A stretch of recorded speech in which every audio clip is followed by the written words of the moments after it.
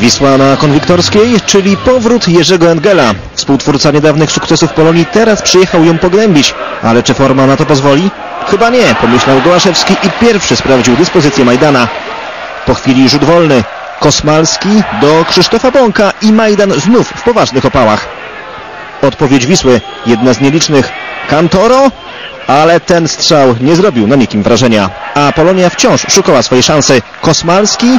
Dudka! Konsekwencje tej interwencji mogły być dla Wisły fatalne w skutkach. I jeszcze raz gospodarze. Stokowiec!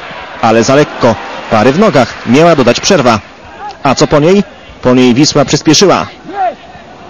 Kryszałowicz? Ale wciąż bez gola dla nowego klubu.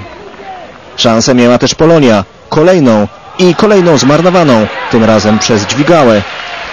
Za to Kryszałowicz nie rezygnował. Dośrodkowanie, strzał i znakomicie bramkarz Paweł Kieszek.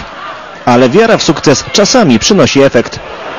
Pęksa i tym razem Kieszek bez szans. 1-0 dla Wisły w 85 minucie. Pęksa wszedł za Gołosia w drugiej części meczu i nie po raz pierwszy było to dobre posunięcie. Wisła wygrała, ale w stylu, którego mistrzowie Polski nie ukrywają. Tak czasami jest, że nie idzie i dlatego, dlatego cieszymy się z tego, że mimo tego, że tylko jedną bramką, to jednak zdobyliśmy te trzy punkty tutaj. Szukam tej bramki dla Wisły, bo bardzo bym chciał strzelić. No a jak się bardzo chce, no to właśnie tak wygląda. Brak trochę farta, bo strzał był dobry, pod poprzeczkę, a bramkarz pewnie wybił. Za tydzień o sukces będzie ciężej. Wisła zagra z Lechem, Polonia zmierzy się zaś z Legią.